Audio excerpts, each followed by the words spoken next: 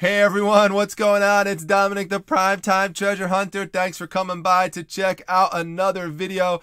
It has been a great few months of sales here. Uh, as you know, many different types of items have sold for at least uh, $100 or more. Had our first uh, sale recently that uh, went for over $1,000. That uh, $1,250 comic book, Giant Size X-Men number one, which is which was the first appearance of the new X-Men. Well, if you remember, I also sold the second appearance of the uh, new X-Men, which you could see here. It's X-Men number 94. It's another key issue for comic book collectors.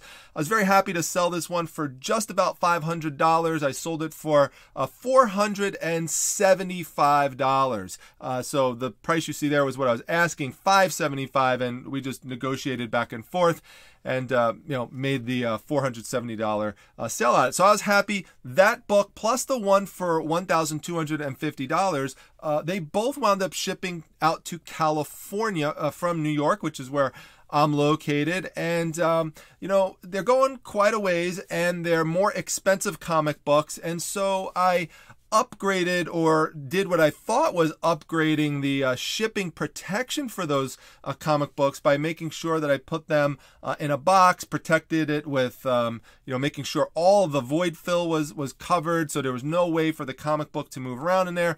The comic book itself is protected uh, within uh, two pieces of cardboard, a clasp envelope, and itself wrapped in bubble wrap. Now, normally the way I ship my comic books out, I'm going to do an updated video on this soon because a lot of you have asked me about this, how to ship out the comics, is I protect them with uh, two pieces of cardboard like this, so the comic book goes inside in a bag and a board, and then it's um, put in this clasp envelope and it's stamped on both sides, do not bend. I'll show you that in another video.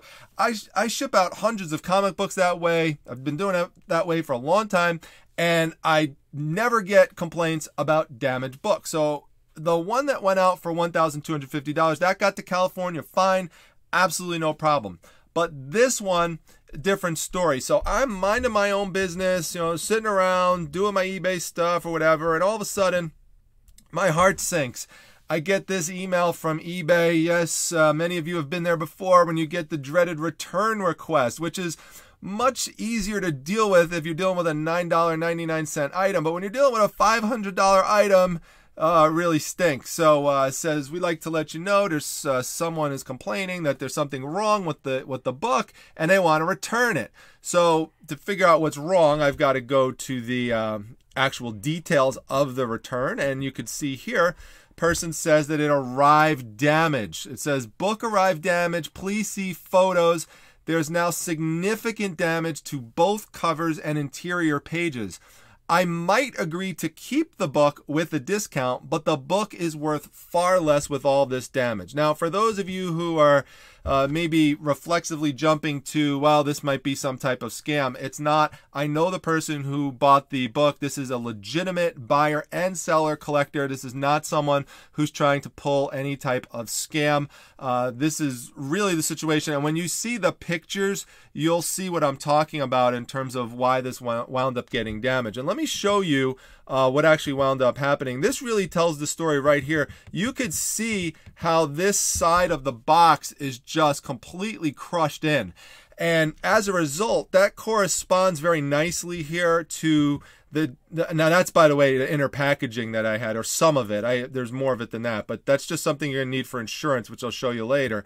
Um, but right here, you could see, and I'm going to zoom in on it, uh, and you might want to pause it and look, but you could see here how there's all these creases and there's crushing of the corner, which again corresponds to that uh, crushing on the uh, side of the box. And so uh, this may, if you're someone who doesn't collect comic books, you might think, well, that's not a big deal. It's just a you know few creases. Well, it's a big, big, big deal for a comic book collector. You do not want that at all. Comic book collectors, especially who are going to pay $500,000 or more, they want it the way it was advertised, and it was not advertised like this. It, will be more prominent uh, for you to see it when I show you the next photo here because you know, this is the front cover and this is the top corner here. You could see, so this crushing courses all the way uh, through the book. There was some other damage as well, but I'm just showing you the part that's the most prominent. Now, this part here, this little um, crease right along the top, this horizontal one, that was actually there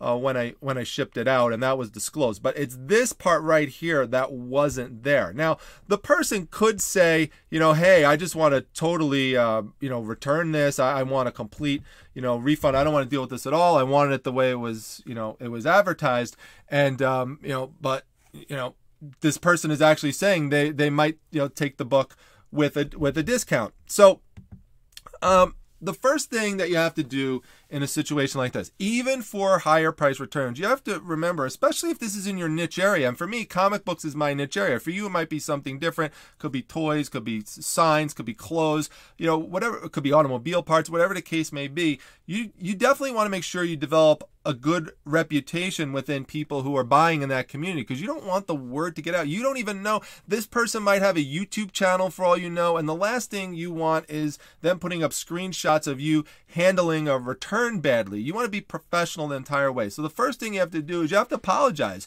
You have to say you're sorry. And, you know, I am. I, I, am sorry that this happened. Um, you know, not only is it uh, bad that uh, this person winds up having a damaged book because they're frustrated. But of course, I'm frustrated as well because now I have to deal with a, you know, I have to deal with a return, and uh, you know, if the person does send it back, I'm not sure what price I'm going to get for it. Uh, so, you know, there's all these kind of variables that are going back and forth in your head. But, uh, you know, a lot of people will reflexively kind of say, well, you know what? This is not my fault. Uh, my responsibility, I've seen this, people say this a lot, is my responsibility is to ship it out. It's not my responsibility to get it to you and to make sure it's delivered um, without any damage to it. Well, of course, you do have to protect it properly. And when you see a crushing like that of the box and you didn't send it out like that, your instinct is probably going to be, well, that's USPS's fault. And to some extent, it is their fault, but to some extent as well, it's still also your fault that the item uh, arrived damaged. Now, sure, they might have tossed the package, they may have kicked the package, but there's going to be package wear that occurs, especially when it's traveling far from uh, you know from coast to coast like this. But you have to think is there something that you could learn from from from the mistake from the damage? Is there something you could have done that's reasonable that could have prevented it? And sure one thing i could have done is put that comic book within another box inside that big box. So for higher price comic books in the future that's definitely what i'm going to do that's going to be a, a learning experience uh, from this event but right now i've got to think i've got to immediately and quickly uh, deal with this customer who is frustrated about what happened. You don't want to delay it because the more you delay it, the more upset the person is going to be. So uh, the person wrote me back. We had a back and forth dialogue, and the person said that they would take uh, half off. So I wound up saying, okay, I understand that you want some off. How about $200 off of the price? Now, remember, I, I, I guess I kind of mentioned this earlier. I have insurance uh, on it. I'm going to talk to you about how we deal with insurance claims. So in the back of my head, I'm thinking I'm going to try to submit this for an insurance claim. That's what it's there for, after all. Uh, cost me about six, seven dollars to purchase the insurance through Pirate Ship. So I'll take you through that again in just a few moments. A person said, "I'll I'll take uh, the book for uh, for 220 off." So a person wanted a $220 refund. Now, if you're brand new to my channel, what am I into this book for? I'm actually into it nothing at this point. I've gotten all my money back from this uh, collection that I purchased. So this is all profit at this stage for this book. So still, you know, worst case scenario, I'd still make a 200 plus dollar sale.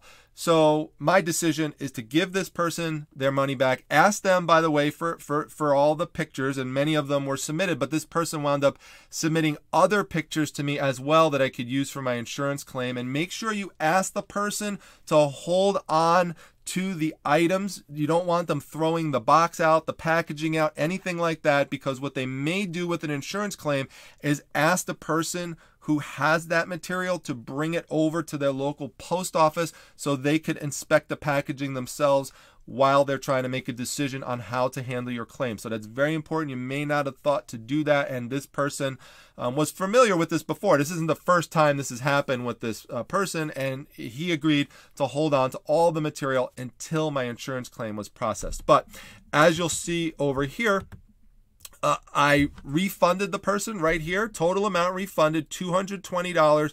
So still, uh, it's a $255 sale. Not bad, but I want my $220 back. I don't want to just give that away, which is why for high priced items like this, you have to purchase insurance. Um, you know, at what number do you want to start paying for insurance?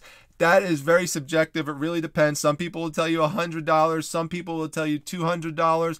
I'm more now, I used to be at the $100 range, but I'm more now towards the $200 range with that. But again, it's subjective. Some of that's personal preference, but you definitely, for whatever you would consider a higher priced item, you want to make sure you get it insured. Now, with priority mail, you're automatically going to get 50 to $100 worth of uh, insurance, uh, depending on your seller's status.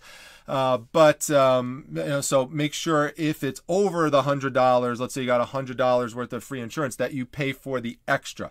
So through USPS, if you're, if you're shipping it through eBay, you're going to have two options. You could uh, do it through uh, what is called ship cover, or you could do it through USPS. Now, the reason why I don't purchase insurance directly through them, purchase extra beyond the automatic that you would get through normal priority, is because based on my reading of it and my research, and you could tell me otherwise based on your experience, but my reading of it is that they will go through every hoop possible to try to both delay the claim and avoid paying out on it.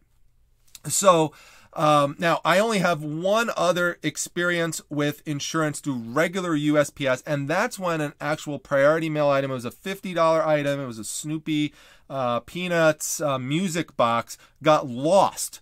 And since it was lost and there's no way they could possibly blame it on me because it just wasn't delivered, they wound up giving me the refund for it. So that if it's something that's lost, not an issue. But the issue for me is once it get damaged, what do you do? So I tried to do my insurance through Pirate Ship, and that's actually why I went through them was specifically for the insurance. The insurance uh, company they use is called Shipsurance.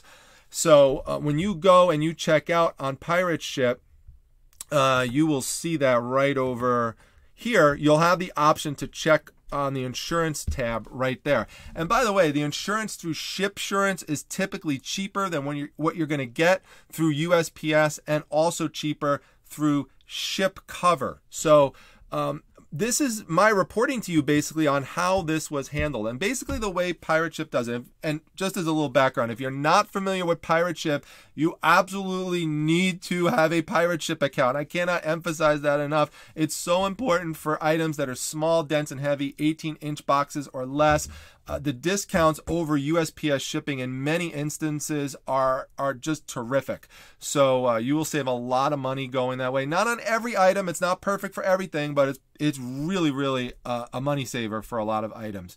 Um, and you could also do do international shipping through there if you want that as an option, as opposed to the global shipping program on eBay. Although I highly suggest a global shipping program uh, as well. But that's an aside. Let's talk about uh, Pirate Ship and what you have to do. So the way Pirate Ship handles it with insurance, if it's $100 or less, you actually have to do that through USPS. But if it's over that, then what you do is you send Pirate Ship an email, and they have an easy way on there to contact them. I just actually contacted them on the uh, on the side. They have like a little chat tab, and they're awesome with that. They get back to you real fast. They're kind of funny. They use their pirate lingo and stuff like that. Um, they, they told me what I need to do. They said, here, submit such and such information to our email address here, and we will take care of it. Usually takes about a week to process. Well, they say that, right? But is it really going to take a week to process? It's hard to believe because what I had heard about the USPS insurance claims and uh, ship cover and stuff is that those claims could take, you know, sometimes up to six weeks to get processed. So I said, all right, you know, we'll see what happens. I'll, I'll try it out. So let me show you uh, what I wound up sending over to Pirate Ship right here, because everything included in here is what they wanted. So, uh, you know, to whom it may concern, uh, this is an insurance claim regarding my shipment. They want to know what it is. So it's uh, X-Men number 94. They want to know the, the sold date. So make sure you have that. And I sold it for $475. So they want to know the sale price they want to know, you know, obviously that was insured, and they're going to want to know the tracking number. So make sure you have the uh, tracking number. They're also going to want a picture, by the way, of the original shipping label. So for items that are expensive like this, you should take a picture of the shipping label and keep it. If you didn't do that, ask the person to take a picture of the shipping label so that you could send that uh, over through uh, over to the email to them. Now, the reason why it's important though to take your own picture is you can't trust that by the time the person makes the insurance claim to you, that uh, I'm not insurance claim, the uh, return claim to you that uh, that they have saved the label. They may have thrown the label out. It might be in the garbage can somewhere. So it's best if you take the picture of the um, of the actual shipping label yourself, so you have that on hand. So you want to send that. You want the tracking number. Um, I mentioned uh, exactly what happened, what went wrong. It was delivered yesterday to the, the to the buyer, and despite me packing it between two pieces of strong cardboard, wrapping it in bubble wrap, placing it in, in an envelope, placing that within a strong box, and making sure the box had no void space, one box corner was crushed during shipment, which crushed one of the comic book corners. So you're basically making a case. I mean, think of it as if you're an attorney making an argument to a jury. I mean, that's essentially what you're doing. You're putting the photographic evidence out there, you're putting the date, you're putting you're putting all the evidence out there. You're trying to make as strong as a forensic case as possible if you want to think of it that way. Uh, also, make sure whoever's reviewing this understands that for comic book collectors, that this crushing causes significant loss of value to the book. This is all evident in the submitted pictures.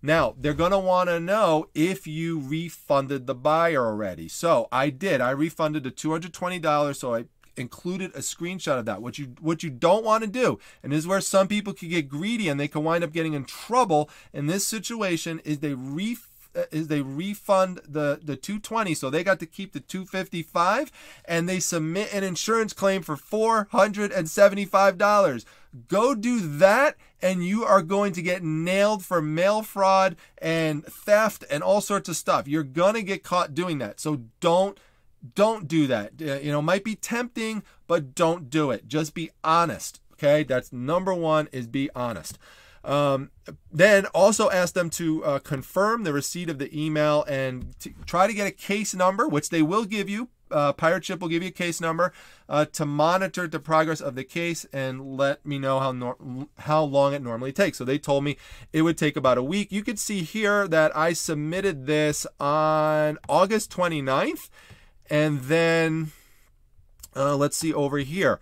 Uh, you could see here that I wound up uh, hearing on September 7th that uh, the claim went well.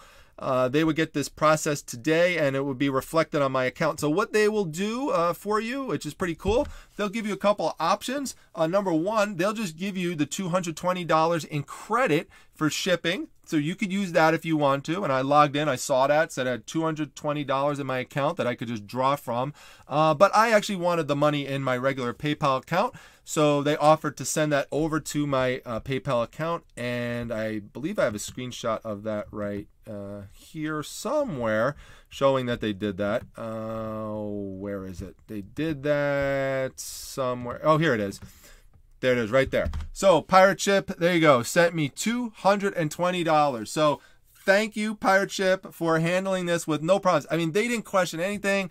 Uh, now, I believe that's because I really put a rock solid case together, but that's part of the point of this um, a, video is that if you want your insurance claim to go uh, well, make sure you have as rock solid evidence as possible. Now, it could be if I submitted this same type of evidence to USPS or through ShipCover that it would have went the same way. I don't know because I haven't tried it. So to be fair to them, I can't say that. Uh, but also could have worked out the other way. All I could tell you for sure is that it worked out really well with Pirate Ship, and I would highly suggest using them for your shipping and also using them for your insurance claims. Uh, this is great. I wound up getting the 475 in the end uh, for the book, and you can't have a better ending uh, than that as a uh, given the situation, given that it arrived damaged. Obviously, we tried to uh, avoid that from happening uh, in the first place and uh, take lessons learned from this. I hope you also learned from this video, um, you know, trying to uh, figure out if you make a mistake, what kind of mistake did you make, how to fix it, and also providing top notch customer service. I'm all over social media. I have a. Um, an Instagram account at prime underscore time underscore treasure. This person actually contacted me through there. And um, has been continuously interacting with me afterwards. Was very happy to find out that I uh, won the insurance claim. Uh, and the person talked about making additional deals with me in the future for other comic books. So, um, you know, all's well that ends well in the end. I feel bad about the book, but these kind of things are going to happen sometimes when you're running a business. It's not always going to go smoothly.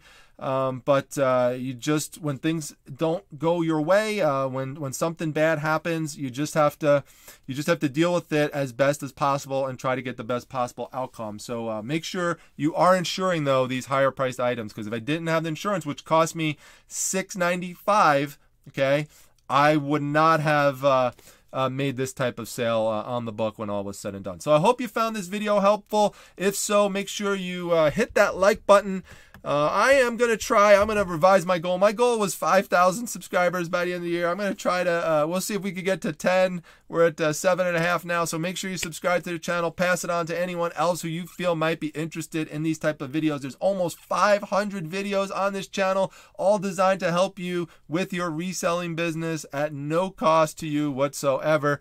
Uh, make sure that you join the Facebook group, the Facebook Reselling Resource Center. The links to all these things are down in the description section as well as Amazon affiliate links to items that are very helpful to me in my reselling business, such as shipping supplies and other sorts of things. Go check it out down below. Anything you purchase there does help to support the channel. I really appreciate everything, and uh, hopefully tomorrow you'll see uh, an interesting um, haul video uh, come up as well. We're going to go to the flea market, and uh, I got a great estate sale that I'm going to as well. So uh, should be a lot of fun, and I'll see you all at the next video, everybody. Take care.